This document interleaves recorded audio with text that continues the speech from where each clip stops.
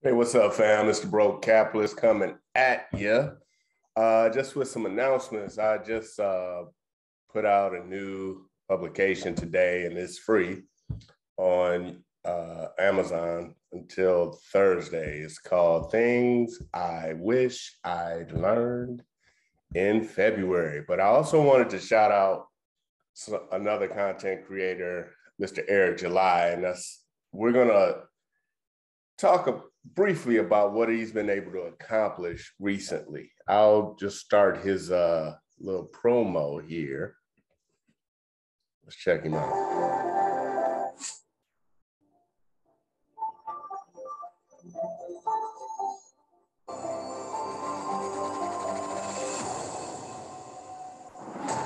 Rippaverse is the result of a comic book lifer that wanted to be a part of the solution instead of always griping about the problem. Now, don't get me wrong, this was always a part of my aspirations. However, the current climate certainly sped things up.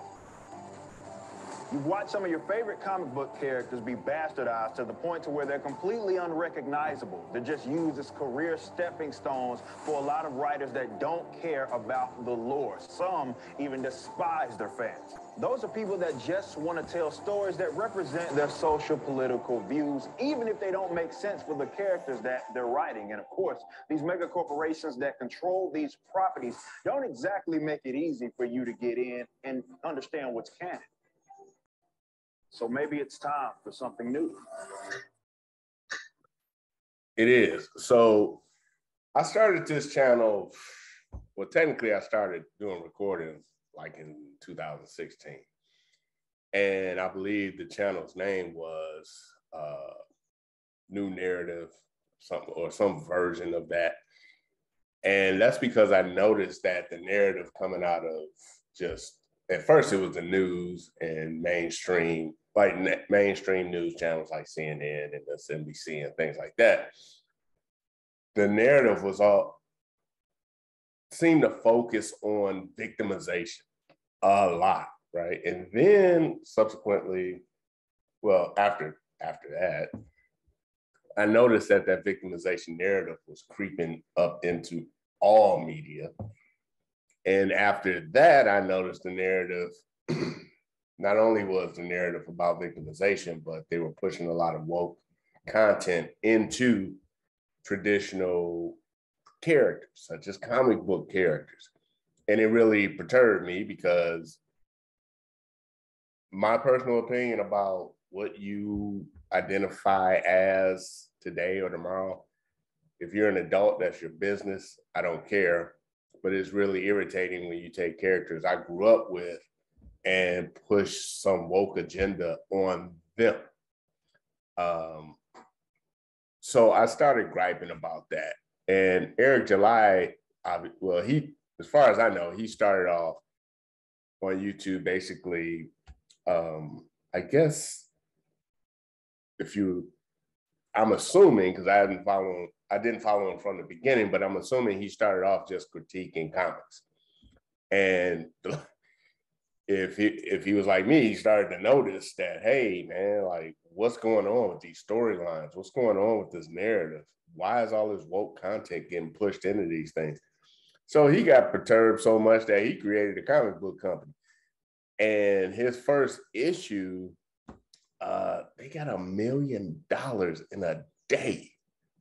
So that just shows the market is there for non-woke content, right? So Eric has been constantly on this grind. I've been intermittent, so I'm with. I wish him all the best. I'm really excited for him because he's like the spear right now. Him and like Daily Wire, like the content that that's being pushed that's non woke, right? Um, of course, I've been I've been putting out non woke content myself, and I would hope that one day, you know, enough of this type of content gets out there that people who are not really, who haven't really noticed what has happened, like at least they'll have a comparison. Like, oh, here's a romantic comedy that's just about romance. And here's a wait man, here's a romantic comedy that's about all these social justice issues and gender identity issues. Like we we need some options, especially because content like the content I was writing, I believe can't prove it until Elon Musk buys Twitter or someone buys Amazon that the algorithm suppresses non-woke content and elevates woke content. But let's listen to him for a minute. Get back to Eric July. We are a comic book company first and foremost that will never be forgotten no matter how big this venture gets. And we are guided by a set of principles known as the Rippaverse ethic. You will find this on a page in every single book that we release, and it's a set of standards that we certainly want you to hold us to. There are three main things that we will always emphasize. Number one, respect the customer. We aren't owed your dollar, but we love to have you as longtime supporters. It's going to be up to us to keep you interested and invested. Now, anytime there's passion involved, there's going to be those conflicts, but we'll respect you. So as long as you respect us, it's all about reciprocity. Our second point of emphasis is canon and continuity. This is an ever expanding universe. There's going to be many of characters that will be introduced. But when you buy a book from us, you own a piece of history. It matters. These events will not be erased by way of time travel or some multiversal aspect. And number three, a comprehensive timeline when you jump into this space, we want to make it easy for you to get caught up on some characters that you're interested in. So we're going to keep the reboots to a minimum. Now, don't. Now you may be asking yourself if you just stumbled over this uh, on this uh, channel, why is this gray-haired man concerned about comic books? I'm concerned about comic books because of the audience that that comic books targets, and that's children. And today's comic books, I grew up reading comics. Eric July obviously grew up reading comics. I'm a Marvel fan, not so much DC, sorry.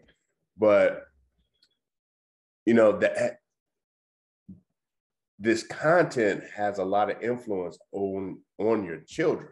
So for those out there with children, Eric July is providing an option for you in the comic book space that is non-woke. And I think that's just important. And that's is very important. So I I would hope that for anyone who's listening here, go to rippaverse.com and check it out. Support the brother. Um, I've I've got a copy. It's on its way in the mail, and I'll review it when I get around to reading it. Uh, it hasn't arrived yet, but when it gets here, I'll review it and, and give my two cents on it but I'm sure it's going to be better than most of the garbage that we've been seeing lately that we just sit in front of a TV or, you know, at the movies just looking at just dumb content. Like, shall I name a few? Uh, the last season, last two seasons of Game of Thrones, uh, all Star Wars since recent Star Wars. Um, you know, anything on Disney that has anything to do with superheroes or or Star Wars. I mean, come on, man. Like the writing is a, a, atrocious, right? You got non-woke woke content. You got woke content being plastered onto just horrific writing. So for those with kids, especially, and those who may be adults who you know older and love comics, give this guy a chance, man. I think we we definitely need options in the market. Wary, we know that picking up the pieces is part of the fun, so we're not going to exactly hold your hand. While I personally value liberty, we're not going to beat you over the head with on the nose current politics and current narratives that will completely contradict what it is that we're trying to do here. So whether you're into our main character in our first book, Isom, or you're into Yaira, or you're interested in all of them will certainly have you as a customer. Your ethnic background or genetic makeup is wholly irrelevant to us. Boom. I think I'll stop it there. So I have some content that I want to push here. I just released this I think you guys will love it. Things I wish I learned in February. Uh, it's full of just historical gems. It's real short. It's about 60 something pages of actual text and about 15 or 20 or so um, drawings. I got an amazing artist do some drawings for me. And one of them in here, as you can see, is when the Free Blacks voted to ratify the Articles of, of the Confederation. And, and there's a story about interracial marriage in colonial Maryland uh, some things about white Christian slavery, and just some information about property values right before the Civil War between the North and South, uh, debunking a lot of the narratives about how rich the South was and how prosperous the South was. They were a joke. Uh, the slave owners, black and white, may have been prosperous, but the South in general, relative to the North, was broke. Uh, so things I wish I learned in February, go pick that up. It's free until Thursday, the 20th, 720.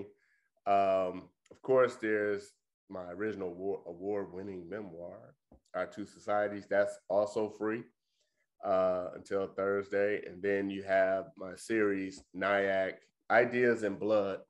And the first book, Niac, and the second in that series. Marshall is out, so they're all free until Thursday. I'm working on the third and final series, and that should be out probably sometime next year, God willing. So, hey, thanks for sticking around to the end. Uh, go out, share these, share this content with a friend or whatever. Uh, support content creators that don't care about your identity, your race, your gender, just care about you as an individual. And with that, I'm out. Drop a line, say hi.